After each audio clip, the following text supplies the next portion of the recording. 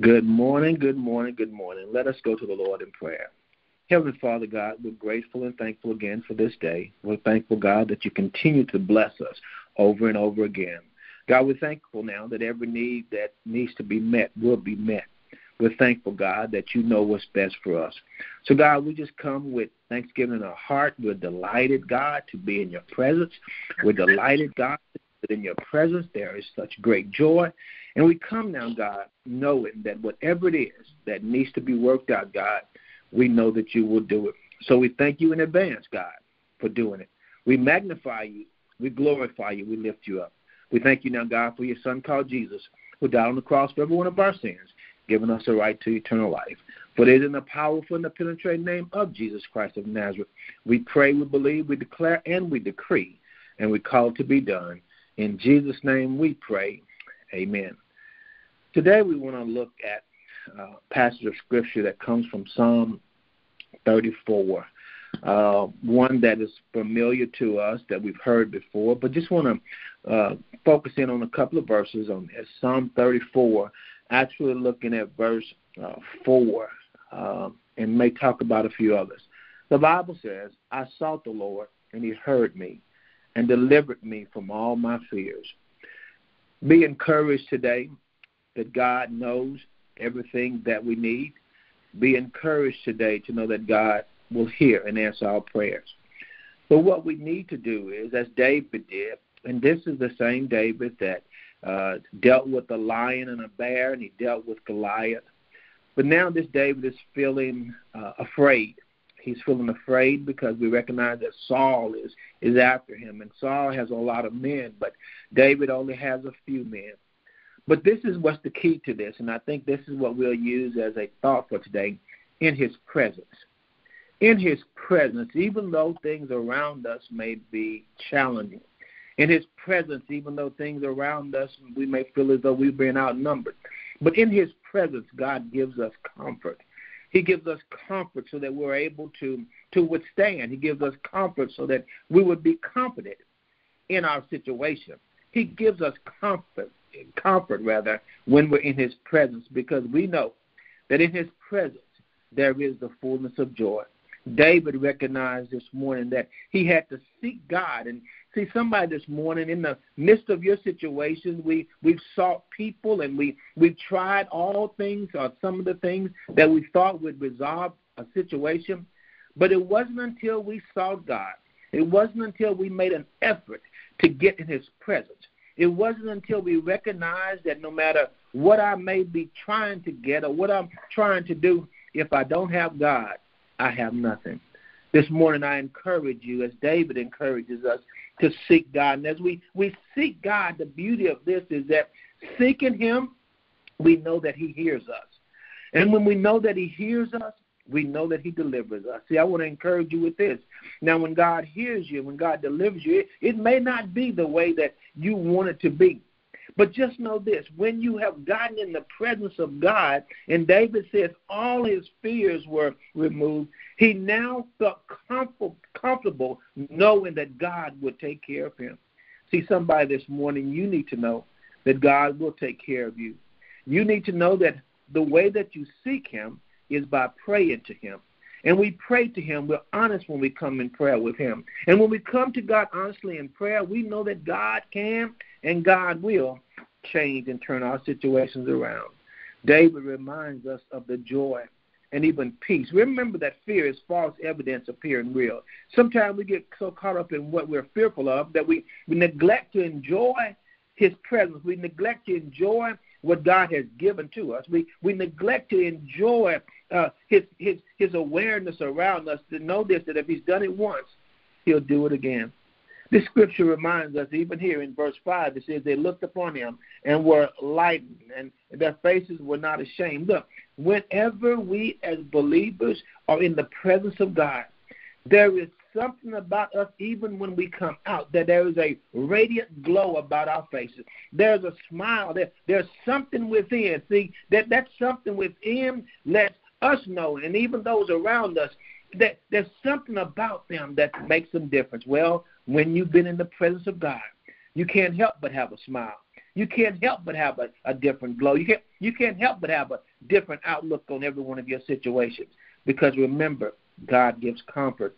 Remember that God is a healer. And because He is a healer, we know that whatever we need, we can go to Him for it in His presence. In His presence, we find that we, we are able to, to, to, to look at life and to, to see the beauties of life through the eyes of God. And as we see this joy, and as we are in His presence, and when we are, when the radiant smiles come from our faces, and when we are able to to relax and to to to let go and to let God, we can let go of things that have been trying to trouble us. We can know that God will take care of us. Know this: that in the midst of your very situations, God is there. And when God is there again, that is our peace. When God is there again, that is our comfort. Even when suffering takes place, knowing that God will relieve us of our suffering. Why? Because He's there.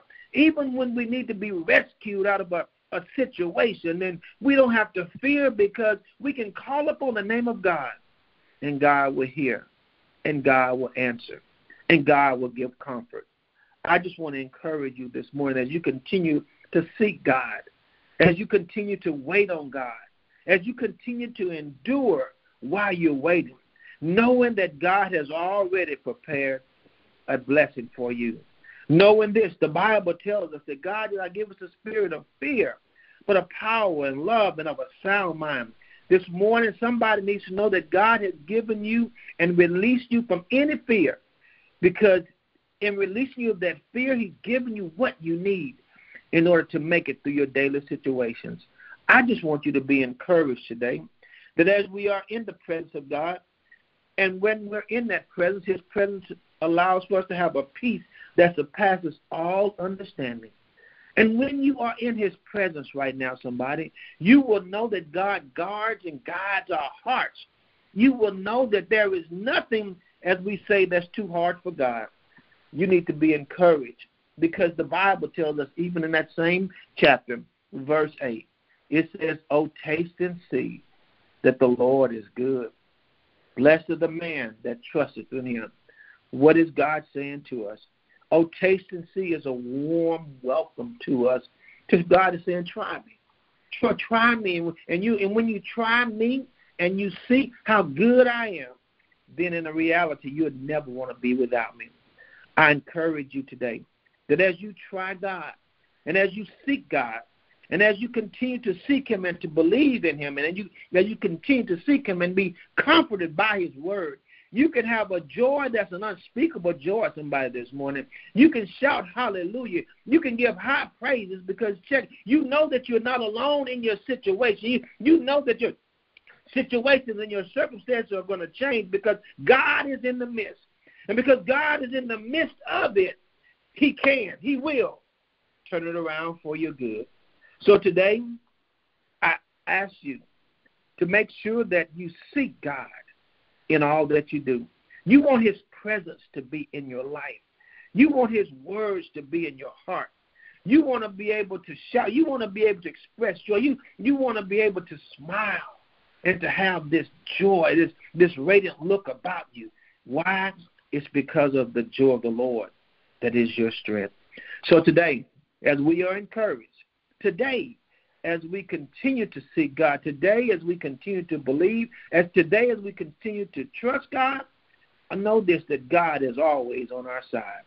And because God is always on our side, and because God always knows what's best for us, we will continue to praise Him, to magnify, and to glorify Him. Today, seek Him, seek His presence, and when you seek Him and you seek His presence, know this that He hears and that He answers. Somebody this morning needs to know that it's going to be all right. Whatever it is, it's going to be all right because you have brought it into the presence of God. God has heard it, and God will answer you. So I pray that you are blessed in abundance today. I pray that you continue to seek Him and continue to love on Him as He loves you because God knows what's best. Heavenly Father, God, I thank you now that we have sought you early this morning. And in seeking you, God, we know that you are with us. And because you are with us, God, we know that you turn every situation around for our good. Bless now your people. Let them be encouraged and let them continue to give hallelujah, hallelujah praise unto you because you are worthy to be praised. For it is in the powerful and the penetrating name of Jesus Christ of Nazareth. We pray, we believe, we declare, and we decree, and we call it to be done. In Jesus' name we pray. Amen.